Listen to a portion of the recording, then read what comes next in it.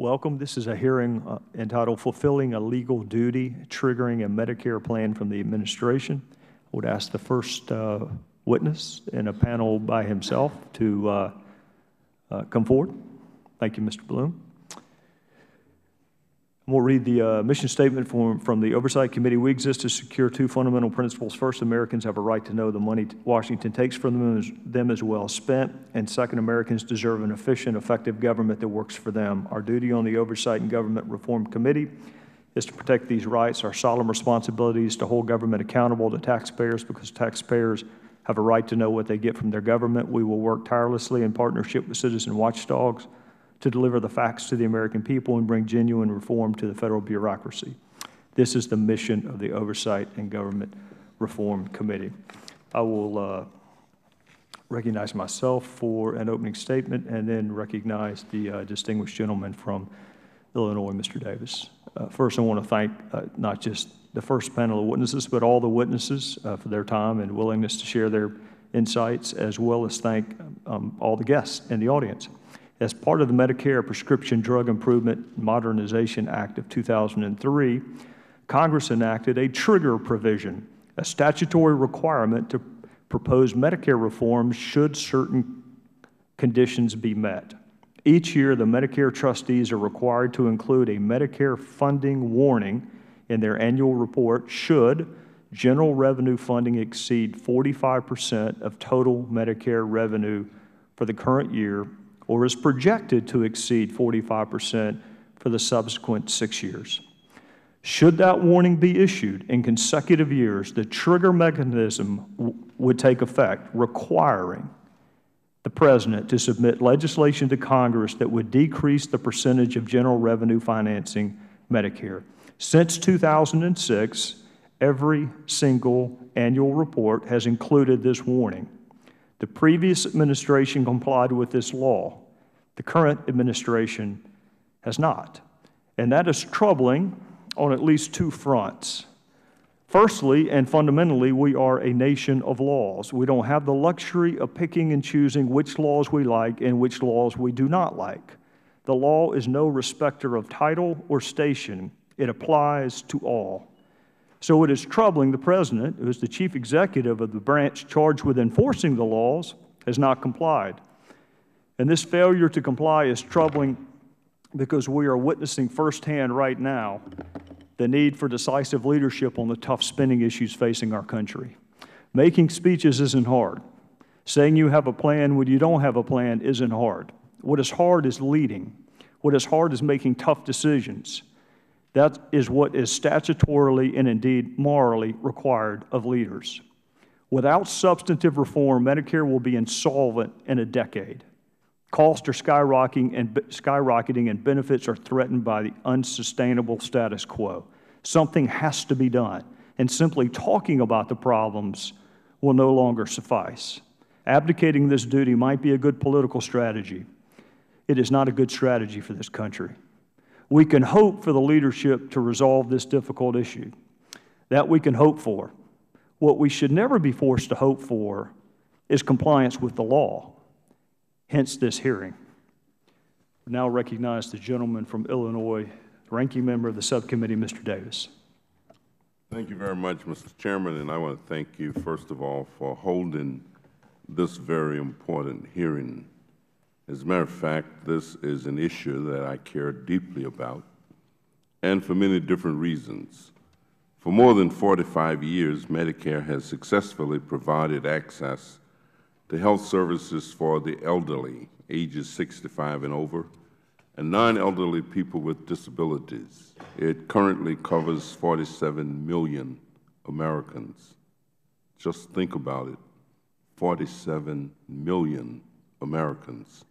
Since July 30, 1965, when Lyndon Johnson signed the bill creating this fundamental health initiative, this program has evolved to reliably meet the demands of aging and medically vulnerable Americans who may not have had access to medical attention otherwise.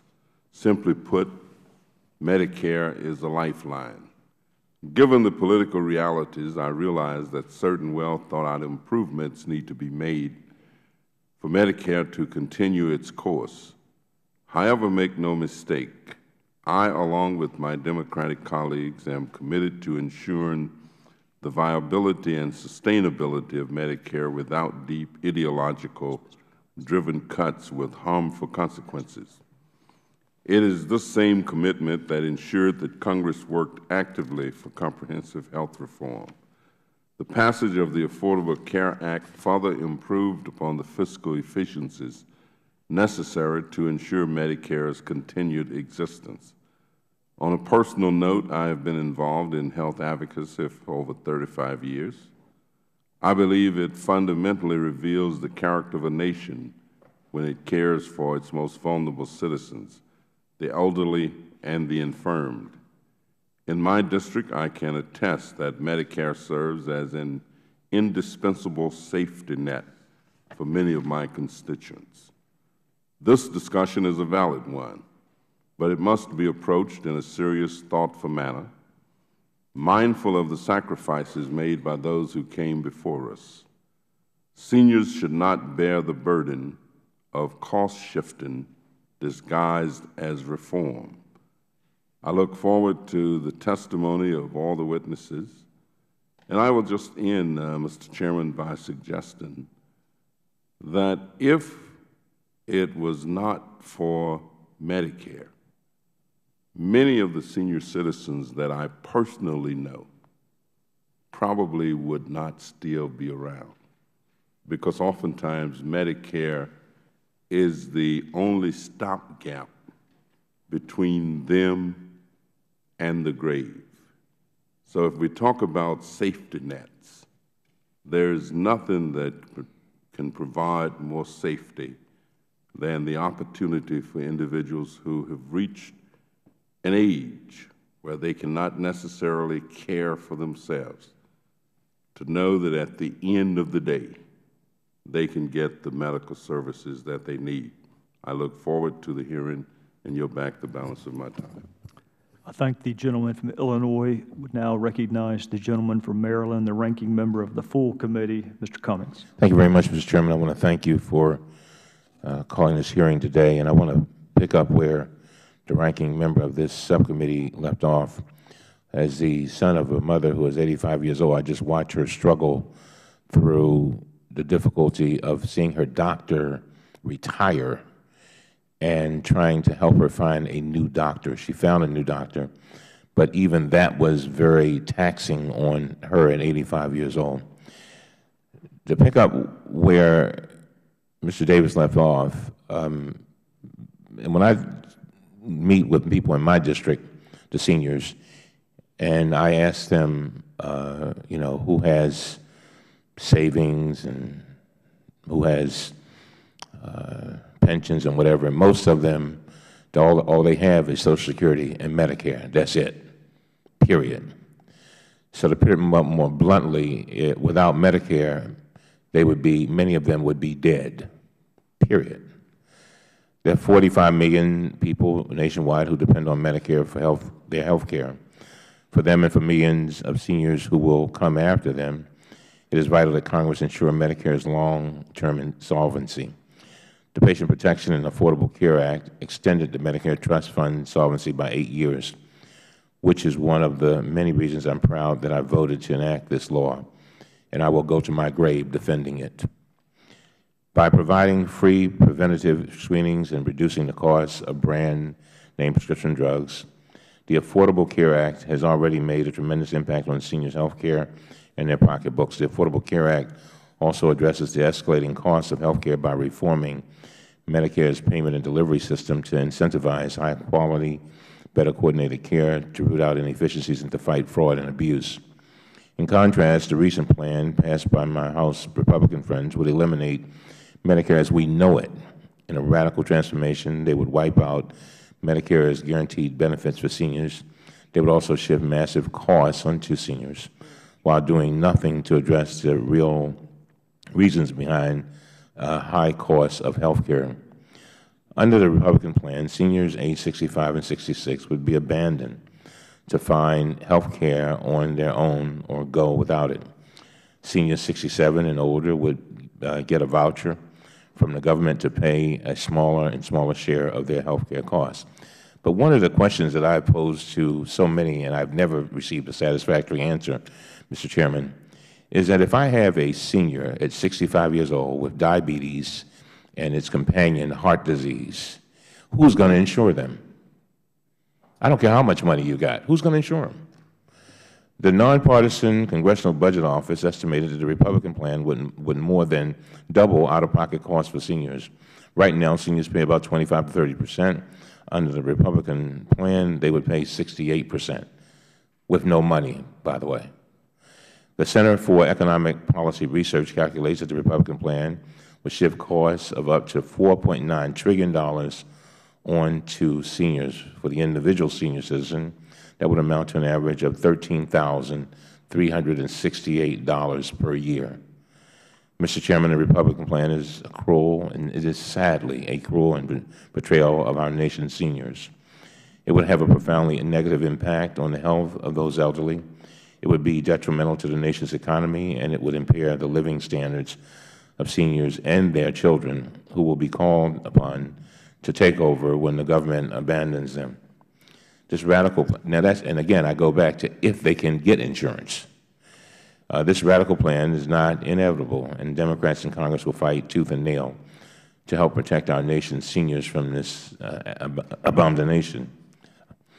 At the same time, we will seek common sense measures to curb runaway medical inflation rather than taking away medical care from people who need it. And I agree with the ranking member. There are things that have to be done with regard to Medicare. Nobody is saying it's of one way or the highway, but we have to do those things that are sensible. And we have to do those things, we have to treat this as if we are the most skilled heart surgeon performing the most delicate operation so that we do the treatment and give the reform that will allow Medicare to live as opposed to allow the patient to die. And so I look uh, forward to the testimony today. I want to thank our witnesses. And again, Mr. Chairman, I think this is a grand opportunity for us to uh, address this issue. And with that, I yield back. I thank the gentleman from Maryland. Uh, it's now my pleasure to introduce Mr. Jonathan Blum, who's the Deputy Administrator and Director of Center for Medicare and Centers for Medicare and Medicaid Services. Um, pursuant to committee policy, I would ask uh, Mr. Blum to uh, please rise and let me administer an oath. Do you solemnly swear or affirm the testimony you're about to give this committee to be the truth, the whole truth, and nothing but the truth? May the record reflect that the witness answered in the affirmative. Uh, Mr. Blum, there are a series of lights, um, hopefully, somewhere. Um, they mean what they traditionally mean, and outside of committee hearings. So uh, with that, we would uh, recognize you for your uh, five-minute statement. Great. Thank you, Chairman Gowdy, Ranking Member Davis, um, and, and, members of the committee. I am pleased to be here today to talk about our efforts to strengthen the Medicare program. I'd, I'd like to make three main points during my five minutes. First, the Affordable Care Act has made substantial improvements to Medicare's overall finances. The Affordable Care Act will reduce Medicare spending by over $500 billion over the next 10 years. Many of the savings provisions included in the Affordable Care Act came from proposals that were part of the President's first budget submission to Congress in 2009. These proposals included uh, uh, payment changes to, to promote accountable care organizations to participate within the Medicare program, bundled payments to, to promote greater care coordination and greater efficiency to our payments, payment reductions to, to certain health care providers, and incentives for hospitals to improve quality. Many of these savings provisions have been already implemented, so the savings are real, and CMS is on track to implement the remaining savings provisions on time. This year's Medicare Trustees Report confirmed the Affordable Care Act's impact on the program's overall solvency. The Part A trust fund solvency has been extended by eight years. The 45 percent trigger threshold will be met by 2013. Projected per capita spending will be 2.9 percent over the next 10 years, significantly lower than the previous 10 years. The cost curve, at least in the short run, has been bent downward. Not only do these changes reduce taxpayers' burdens, but they lower costs for Medicare beneficiaries through lower co-payments and premiums. The- The second point that I want to make today is is that reducing Medicare costs is one of CMS's greatest priorities, highest priorities. We have made significant new investments in reducing waste, fraud, and abuse. Through our partnerships with law enforcement agencies, billions of dollars have- been recovered back to the trust funds. We have also implemented on January 1st the first round of competitive bidding for medical supplies such- such as power wheelchairs. Through this competitive bidding program, Medicare will pay an average of 32 percent less than it previously paid for power wheelchairs, oxygen tanks, and other durable equipment. That 32 percent is an average figure. The program will save billions of dollars for taxpayers and beneficiaries when fully phased in. We have also closed loopholes and and reformed our payment systems to ensure that we pay accurately for providers such as skilled nursing facilities, home health agencies, and physician services. CMS will continue to use its rulemaking authorities to ensure we pay as accurately and fairly as possible. And the third point that I'd like to make today, it- it- that Medicare benefits are stronger due to the Affordable Care Act and our work at CMS. The Medicare Part D donut hole is being phased out by 2020. And this year, those that do fall into the donut hole will save hundreds of dollars on their out-of-pocket costs for, for, for prescription drugs. This year, the program began to offer free cost sharing for certain preventive benefits to keep seniors healthier for longer periods of time. And the Medicare Advantage program continues to grow, not shrink, but to grow while, while offering average lower premiums. Clearly, we have more work to do to ensure a sustainable program for the long-term future. We look forward to working with the Congress to ensure we have the strongest program possible. I'd be happy to answer your questions. Uh, Thank you, Mr. Blum. Um, I would say on behalf of all of us, uh, votes are imminent, and uh, all of us want to be good stewards of your time as well as the time for the second panel. I know that there, people have other commitments and other things to do. So we're going to ask questions until they call for votes, and then um, if, uh, if we get back in time and you're still here, great. Um, If not, then um, we want to be respectful of things other people have. So Thank you. we apologize for that in advance. Mr. Blum, what's the purpose of the trigger? The, uh, the the 45% trigger? That's right. Well, the MMA, um, the Medicare Modernization Act of, of 2003, created a an additional solvency measure uh, to, to, to to assess the overall financing of uh, the total Medicare program, Parts A and, and Parts B. And it requires the president to submit a plan to Congress, correct? The, the statute uh, requires that, that the, uh, that the Medicare trustees issue a, uh, a, a funding warning uh, when, when certain conditions have been met. Have those conditions been met? They were met starting as of 2006 or 2007. Right. So according to federal law, President Obama was supposed to submit a plan to this Congress to flip that 45% of general revenue funding for Medicare, correct? The, the 45% trigger has been met, will, will be met by 2013. The Affordable Care Act That, will. that wasn't my question. The President has consistently submitted a uh, budget to propose, to propose reductions to overall Medicare's financing.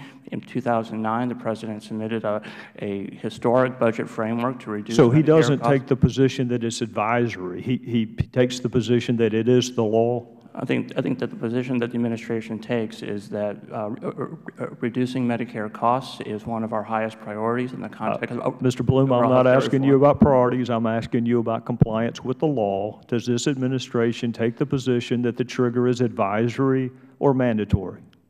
We take the position that, um, that reducing Medicare costs is our, is our highest priority. The Affordable Mr. Care Blum, Act. I'm, I'm probably not asking my question very artfully. Uh, so Let me try it again. Is the trigger mandatory or discretionary, complying with it? The trigger is one, um, one measure of overall Medicare solvency. The President has proposed a, a- proposed a budget in, in 2009. Many of those savings provisions were included within the Affordable Care Act and adopted in the Affordable So Care Act. So your position is the, the Affordable Care Act or Obamacare meets his requirements under that section for the trigger? Um, My position today is that the the President has continued to propose um, um, ideas and proposals to reduce Medicare spending, and as a result, by 2013, in two years' time, the 45 percent threshold has been met.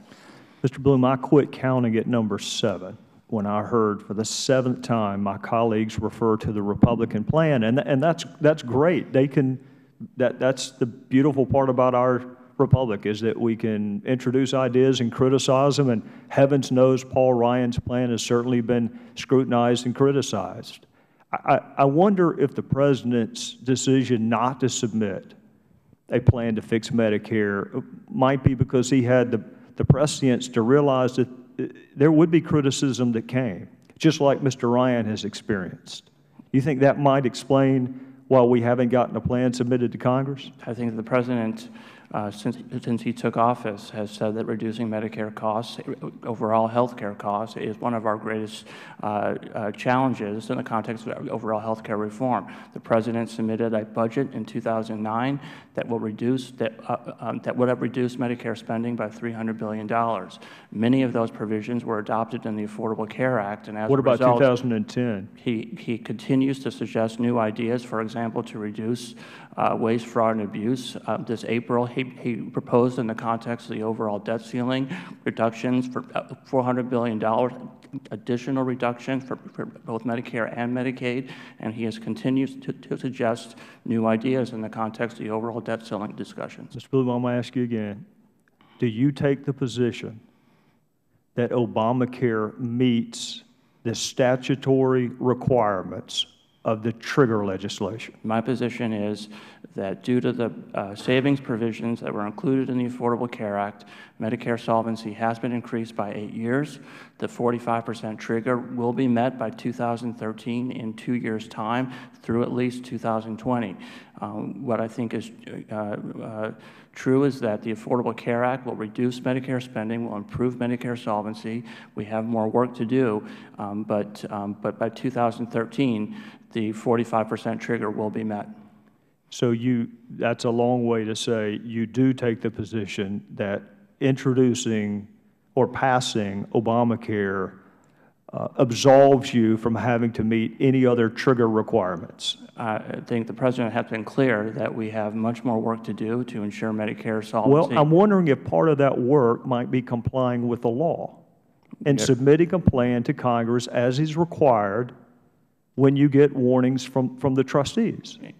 In the, I believe that the first year that the warning was, um, was issued was in 2006, possibly 2006 or 2006, 2007. The first year the President took office, he, he submitted a, a proposal to the Congress to reduce Medicare spending by $300 billion. The Affordable Care Act uh, took those, took many of those proposals to reduce spending by $500 billion. We are working very hard to implement those provisions. We have extended, th- th- those provisions have extended solvency by eight years for the Part A trust fund. By 2013, the, the trigger has been met through at least 2020. So, so I believe we are, uh, we have complied with the intent to the 45% trigger. Well, I'm uh, way out of time, so I will uh, recognize the gentleman from Illinois, Mr. Davis. Thank you very much, Mr. Chairman. Um, Mr. Blum, I'm aware that we're searching for alternatives to reform Medicare. The Ryan Plan is one such scenario, but I'm not in favor of merely shifting beneficiaries from one Federal plan to another. The Congressional Budget Office said the following about the Ryan Plan, and I'm actually quoting. As the eligibility age for Medicare rose from 65 to 67, some people who were 65 or 66 years old or were approaching those ages would turn to other programs for health care and income support. For example, more people might apply for disability benefits under the Disability Insurance Program or under the Supplemental Security Income Program.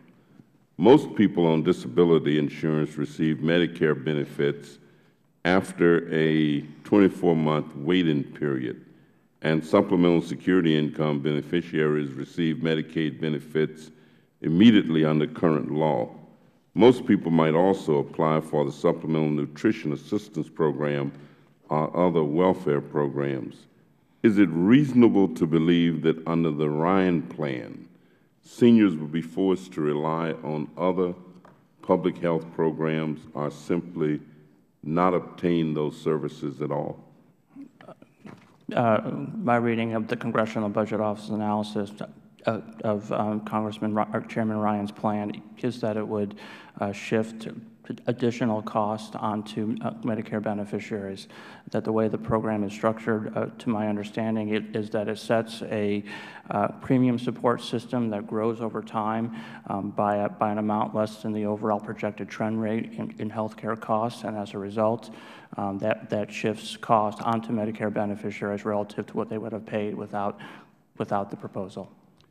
And, and it's also my understanding that the nonpartisan Congressional Budget Office found that a typical beneficiary would spend more for health care under the proposal than under CBO's long-term scenarios for several reasons.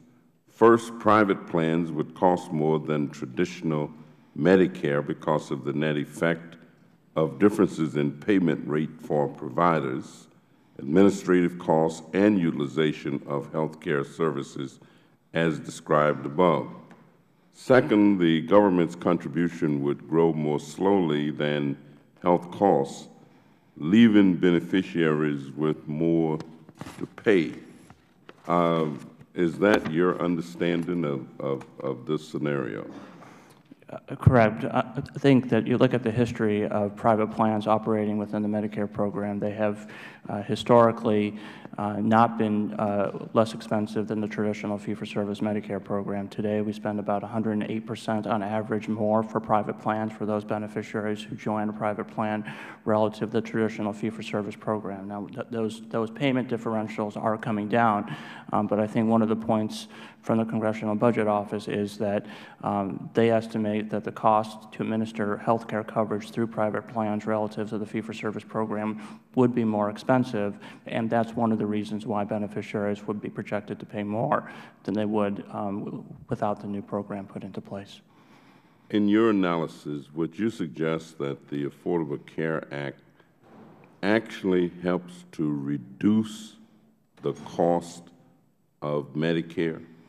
The Affordable Care Act reduces Medicare beneficiaries' out-of-pocket costs in a number of ways. One is that it constrains cost growth, so to the effect that the, the program pays less, beneficiaries pay less through lower copayments and lower premiums. The Affordable Care Act also phases out the so-called Part D donut hole.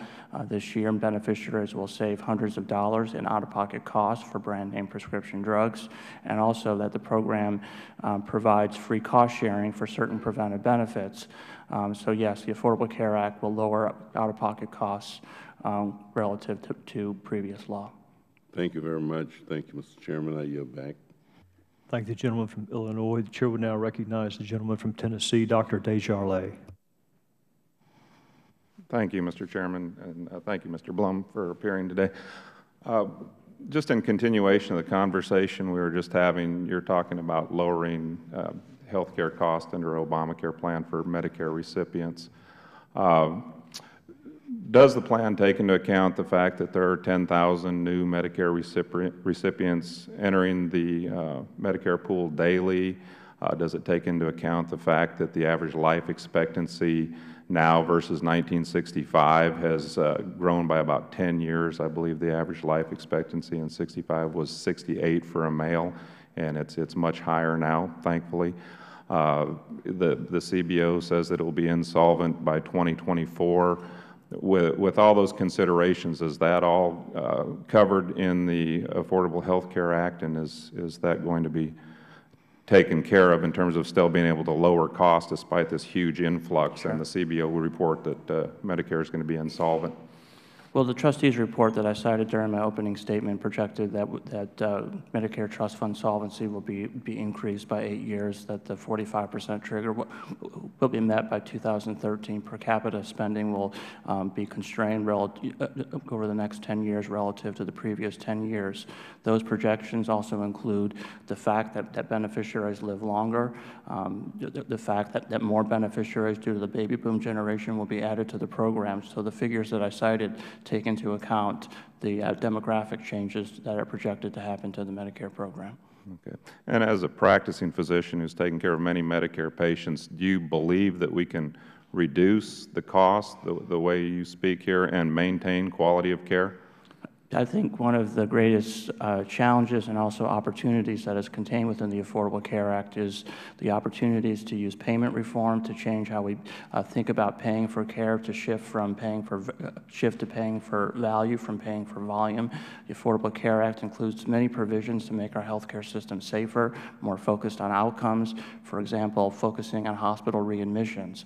So, I mean, the the spirit of the Affordable Care Act is to um, c- uh, c- constrain cost growth in- part by lowering payment updates to providers, but also to fundamentally change how we think about paying for care, to focus on the value, to focus on the outcome, rather than just the, just the volume of services. What is it going to do with the SGR? Because that's a looming issue uh, that concerns both the recipients of health care, because seniors are already having difficulty finding providers, and providers seem to be exiting the Medicare plan because of the cost cuts. Right now, we have a anywhere from a 21 to 28 percent cut.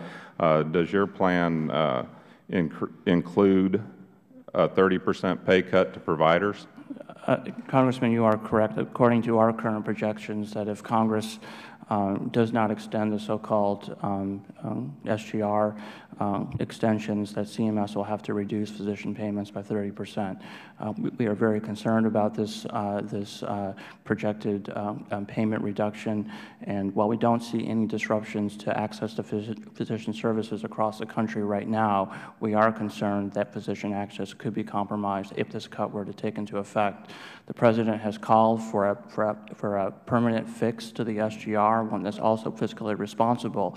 How are we going to pay for that? I mean, what are we going to tell our seniors right now? Don't worry, we're going to cut physicians' pay by another 30 percent when essentially there hasn't been a pay increase for a decade now, despite rising health care cost, overhead cost, and physicians are going to be uh, paid probably 50 percent less than they were a decade ago. Uh, do you really think that's going to fly? Can you tell our seniors with any confidence that doctors are going to be there for them, and, and what uh, does the Obama administration have as a solution for this?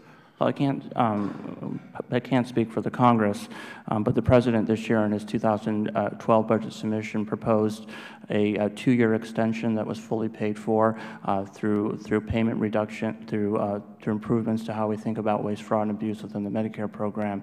Um, But the President has also called for a, a permanent solution, but one that's also done in a fiscally responsible way that So also. we're going to kick the can down the road? I think, I think, I think what the President has said is that we need to find a, a permanent solution working with the Congress. Um, His, his budget submission uh, this year, um, it included a two-year extension, but, but, but, but his policy, his very strong policy preference is for a permanent fix to the SGR. Okay, so we'll worry about when we get there is basically what I'm hearing. Let's talk about IPAB quickly because we're running out of time. That's another area that I think you maybe even the administration recommends flawed. We have a independent payment advisory board that is basically tasked with rationing health care, even though they're saying that they're not allowed to ration it, but they are tasked with cutting Medicare. And I find it interesting that the Ryan plan has been accused of ending Medicare as we know it. In, in reality, Obamacare within the next two years is going to start making drastic cuts in payments to Medicare recipients and providers, and I see a recipe for disaster. Well, I think the Blum, uh, overall, Mr. Blum, the gentleman's time has expired, but I don't want to prevent you from answering. I would just ask you to answer in light of the fact that the gentleman's time has expired. Thank you. I think that the, um, the overall goal i- that we have, that I think all of us have, is that to ensure that, that- that, that cost growth remains lower than, than, than the past. And I think one of the reasons that Congress did include the IPAB provision was to create a check on overall per capita growth. Um, uh, In my opinion, we need to look at a whole host of- different solvency measures. The 45% trigger looks at the mix of financing, but it doesn't necessarily look at the overall cost growth. And I think that we, um, I think that the Affordable Care Act's goal, CMS's goal is is to ensure that we have uh, lower cost growth in the past, to ensure the program remains affordable both for taxpayers and for beneficiaries. I thank the gentleman from Tennessee. The chair would now recognize the gentleman from Maryland, the ranking member of the full committee, Mr. Cummings. Mr. Chairman, I see that we're about to start voting on the floor, so I'll be brief. Uh, let me uh, ask you, Mr. Blum, you know, one of the things about the Affordable Care Act, and one of the, and it's something that my seniors applaud, is the whole idea of wellness. I cannot tell you the number of people that I see in my district who uh, call me and say, Cummings, you know, I found out I had prostate cancer, and they said it was too late. Too late. In other words, they didn't get the exam earlier. Or they found out they have some other disease that is uh, going to cost a lot, end-of-life care. Um, and I was wondering, as you all see it, the Affordable Care Act had provisions to try to uh, address some of the costs by keeping people well. Is that correct? The Affordable Care Act included several provisions, uh, one of which was for the first time to add the opportunity uh, for Medicare beneficiaries to have an annual wellness visit, a conversation with their physician to ensure that they're uh, complying with recommended preventive tests, to check medications, to ensure that the mix of medications is correct. Um, almost 1 million Medicare beneficiaries to date has taken advantage of, of that new wellness visit. The Affordable Care Act also um, included provisions to lower barriers for beneficiaries to take advantage of preventive benefits by, by waiving the cost sharing uh, for, for certain preventive benefits. And I think that in our opinion at CMS is that we need to keep our beneficiaries healthier for longer periods of time. That's the right thing to do for beneficiaries, but it's the right thing to do for overall Medicare costs. We know that when beneficiaries come onto the program without coverage, they cost, they cost more than beneficiaries who do that have coverage turning age 65. So that gives us evidence that when we focus on the health, we focus on the well-being, we ensure that beneficiaries receive care when they need it, that the overall costs are, are lower. If you'll recall, when I uh, did my opening statement, I talked about a question that uh, concerns me and I'm sure many others. Uh, if you got a senior who's 65 years old with no, who has diabetes and who has heart disease, uh, I asked the question, who's going to insure them? And I wanted, and I'm sure you all have tried to figure this out because you realize that there is a, a Republican plan. And so under that plan, do, have you figured out who's going to insure those folks? Because I've got a lot of folks in similar situations in my district. Well, the plan, I understand it, the, uh, Chairman Ryan's plan would take effect in uh, 2022. I think it's hard to predict which, mm -hmm. which insurance companies would come into a market in, uh, in more than 10 years' time. Um, but I think uh, the keys are to have very strong risk adjustment you know, mechanisms to ensure that plans have very strong incentives um, to take those that have chronic illness, chronic sick. Um, the history of the private plan system within the Medicare program to date has been that when we don't, don't account for the high costs that beneficiaries with diabetes or other chronic conditions have, that plans figure out ways not to care for them. The, uh, you talked about waste, fraud, and abuse, uh, and that's been certainly a subject that has come before our full committee quite a bit, and it's something that we are tasked with addressing. And you know, do you all see a lot of waste, fraud, and abuse in the Medicare system? And do you, you know, that those are words that we hear over and over again. I mean, every year. I've been hearing it for the last 15 years since I've been here. Waste, fraud, and abuse. Waste, fraud, and abuse. The question is, um, do we have a a plan to truly attack that? I think um, in in 2009 uh, there was a historic um, uh, coming together of both CMS and the law enforcement agencies, Department of Justice, of you know trying to do more than was done in the past to reduce true fraud in the program. One thing that was um, put into place is Operation Heat, which targets both law enforcement resources and also analytic resources to the hot spots of the country uh, for, for Medicare fraud. We know that fraud is, you know, tends to be in certain parts of the country, then it moves when, when law enforcement moves in. So the key really is to um, follow the hot spots and ensure that the fraudsters don't get ahead of uh, law enforcement. Second is that we are using data analytics in novel new ways to, to both uh, find waste, fraud, and abuse, but also to predict where waste, fraud, and abuse could be happening. And the third area is that we need to make sure that our payment policies are correct. They don't overinflate to cre create, create incentives for um, fraudsters or, um, or um, bad actors to come into the program. One example is that we have reduced prices paid for certain durable medical equipment. That, that's an area that we have had a lot of fraud in the program by 32 percent. So if we target the hotspots, we use data wisely, we also set our payment policies right, that, that we will make a serious dent in waste, fraud, and abuse. Thank you. I yield back. Thank the gentleman from Maryland, uh, Mr. Blum, and to my colleagues, uh, Mr. Clay, Ms. Holmes Norton, uh, Dr. Gosar. Uh, We've got about 10 minutes left to vote. It looks like it may be a series of some length. Uh, What I can promise you is we'll be back here as quickly as we can get back here. Uh, If, I'm happy to stay. well, I- I- we all apologize, uh, but we we can't control uh, when votes are called, uh, and sometimes can't control how long they last. But make you the commitment, we'll get back here. I'm not going to tell you we're going to run, but we'll walk briskly to get back here. And uh, Too hot to run. we'll be in recess uh, until such time as we can come back. And again, we apologize for any inconvenience. Yeah, Thank you very much.